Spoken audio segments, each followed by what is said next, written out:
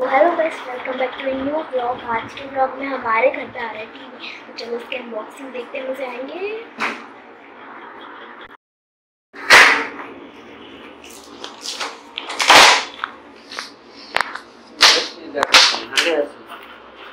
आज rádio.